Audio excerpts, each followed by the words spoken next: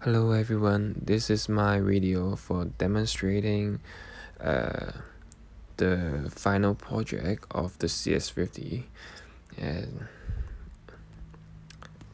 it is a e-commerce website. I used uh, JavaScript, uh, HTML, CSS for the front-end application. And for the backend application I used uh, SQL and Flask. And I'm currently create a new account. As you can see in the main page uh, there will be photo keep changing over time. And you can create uh, a new order in in the cards function.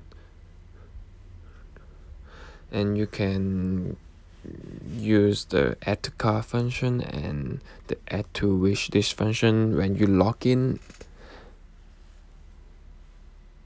And you can change your passwords as well. And you can see I log in as a an admin and uh, I can check the details of the orders making by the users. And I can edit the price and I can reply the message when I done. And this is the end of my video. Thank you everyone